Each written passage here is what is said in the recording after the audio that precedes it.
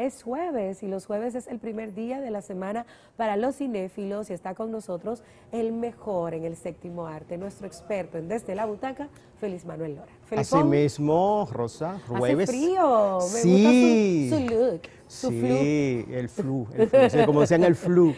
Su sí, sí, la pinta. Sí, no, lógicamente, sí. uno combinarse, lógicamente, la- las temperaturas tan frescas, bastante frescas en la mañana. Cuídese de la gripe, a mí me agarró Sí, ya. sí, yo tuve hace dos semanas un poco de gripe, eh, pero ya estamos Qué mucho bueno que se mejor. mejoró. ¿Y qué tenemos para el día de hoy? Tenemos dos películas eh, totalmente diferentes, una biográfica y otra de terror apocalíptico. Y lanzamos la primera que es Llaman a la puerta.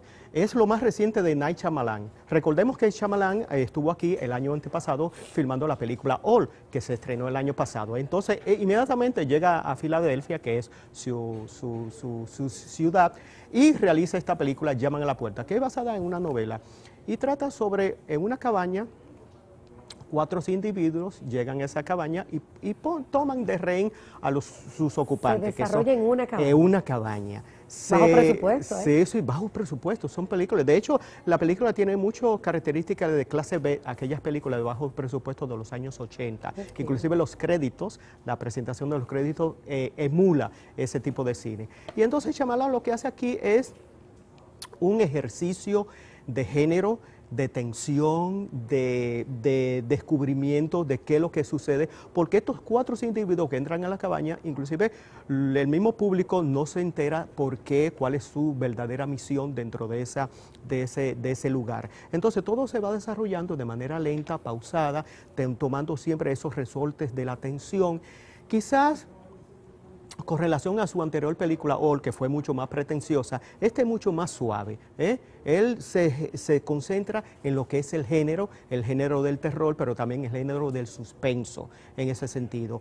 Es una película, lógicamente no puedo revelar nada, porque el público, al igual que los personajes, va descubriendo qué es lo que, cuál es la verdadera misión de estos personajes. Yo creo que eh, Shyamalan Ah, bueno. todavía en su filmografía un poco que se desbalanza en algunos puntos, pero en otras recupera eh, su tino. Eh, en esta yo creo que él se dedicó a hacer un buen ejercicio con pocos personajes en un solo lugar y yo creo que, que sí. Logró que más.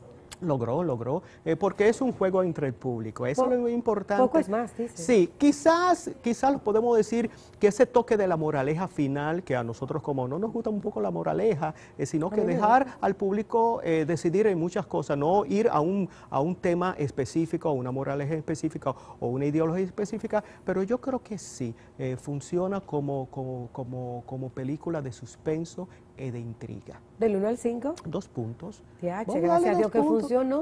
Gracias a Dios que funcionó. Dos puntos, sí, sí, dos puntos, pero yo creo que el público amante de este tipo de género ahí va a tener una, una buena película. La segunda película es biográfica, eh, basada en la vida artística de Whitney Houston. Uy. Eh, eh, I Wanna Dance With Somebody, Muchas o quiero ahí. bailar con alguien. ¿eh? Muchas emociones, me imagino. Sí, la película parte cuando era una muchachita en el coro de New Jersey, donde su madre, eh, madre eh, eh, eh, Cissy eh, Houston, era parte del coro. Entonces, a partir, la, la película arranca a partir de ahí. Yo creo que, que Naomi Haki, que es la, La actriz actriz. principal, hace un gran esfuerzo, aunque la película es muy desequilibrada en el sentido Bueno, de es que la vida sí, de Winnie Houston. Claro, a pesar de que todos, todos conocemos los entresijos de lo que fue la vida, tanto íntima como artística de Whitney Houston, la película quizás es un retrato un poco superficial de una gran artista, eh, que quizás fue la más, yo creo que es la, la artista más destacada de su generación, Whitney Houston, en los años eh, finales de los 80, principios de los 90. Y yo creo que la película trata de equilibrar un poco la parte eh, privada, íntima de ella, eh, su adicción a las drogas, eh, eh, el amante que tenía, la amiga íntima, el matrimonio con Bobby Brown y todo eso. Todo eso se mezcla, tratando de equilibrar un poco, pero quizá no profundiza mucho. Se quedaron en la superficie. Sí, pero el gancho está, el gancho está en la música. ¿eh? en las canciones que fueron totalmente ¿Y la cantó populares. la actriz? ¿eh? ¿O son Sí, eh, hay, siempre en estos casos, la actriz tiene que saber cantar, pero siempre hay un, como un playback, siempre hace, eh, se, trabaja eso en postproducción para que la voz salga lo más parecido posible al rango de voz que tenía Whitney Houston. Realmente que es difícil de imitar, oh. es bastante difícil de imitar. Yo creo que... ¿Es canción musical? No, no se desliza la música, la música es parte de la narrativa, eh, lógicamente hay canciones completas como aquel eh, concierto que dio en el 2009 del famoso Popurrí, se canta completo ese Popurrí en la película, porque lo que el público quiere ver, oír son las canciones de Winnie Houston realmente. ¿Del 1 al 5?